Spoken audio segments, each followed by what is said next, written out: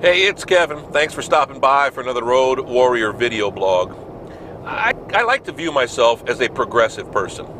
I'm pretty accepting, pretty open. Although, as we get older, we tend to get more conservative. And there are just some things now, it's not that I, I get offended, I just kind of shake my head. Like, wow, I wonder why.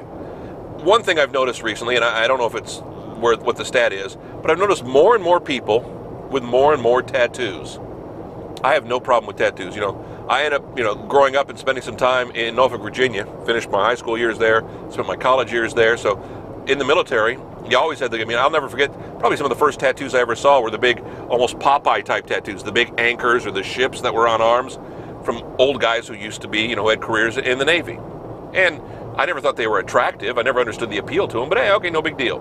And then I worked with a, a young gal in, in the hip pocket store, in the jean store I worked at I was probably 18, 19 at the time, and, and we hired a gal who had a tattoo of a rose in the little part of her hand. I don't, I don't know what you call that, the, the webbing between her thumb and her forefinger. And it was like a big deal that this girl had a tattoo. And it was very small and you could barely notice it, but some people were actually very uncomfortable with it. And that was probably the first young girl I'd seen with a tattoo.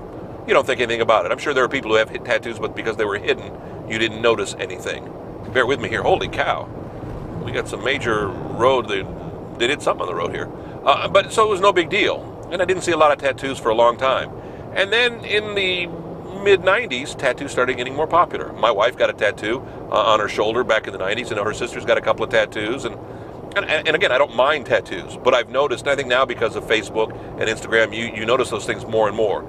The weird, the, the writing and sayings, like I'll see people put writings like on their side over over by their, what do you call it? It's not your breast per se, over on, on your side, basically. And is that a sternum?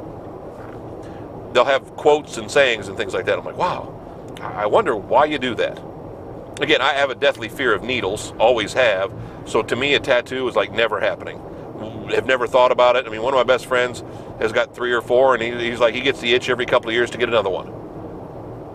And, and, and again, I don't have any problem with them. It just, I've noticed, it's like, well, every time you look, people have tattoos whether it's on their shoulder, whether it's on the back, whether it's on the breastplate, whether it's, you know, or even some can be hidden. But I notice a lot on legs now, whether it's on the hip, whether it's on the ankle, whatever it is. More power to them, but it's like, wow, I wonder why they became so popular. I wonder what it was that people just decided tattoos are now in again. And when do they stop? The weird things about culture that you just go, wow, I wonder what caused that to happen. I'm sure I could research it. I'm sure I could figure it out. It's just something I've noticed just driving down the road or just walking through the streets or whatever it was. Next week, another Road Warrior video blog, kevinmason.us, our website where you can find all billion episodes of whatever we're up to now 240, 50, 60. Again, it's not like I keep track of that number. It's just it's written on there and that's it. Uh, every episode of the Road Warrior video blog always on kevinmason.us. Try to get them up on Facebook, which we're actually pretty good about now. Get them up on Facebook every week. Also throw them up on YouTube as well. So again, if you search those places, just type in Kevin Mason Road Warrior. Um, you'll find us in the search in Facebook. You'll find us in the search in, in YouTube. I guess technically, if you just type Kevin Mason Road Warrior in a Google search, you'd be able to find us too. But then again, if you're already watching, you already found us. So I guess that was kind of moot, wasn't it? Another Road Warrior back next week. See you. Thanks.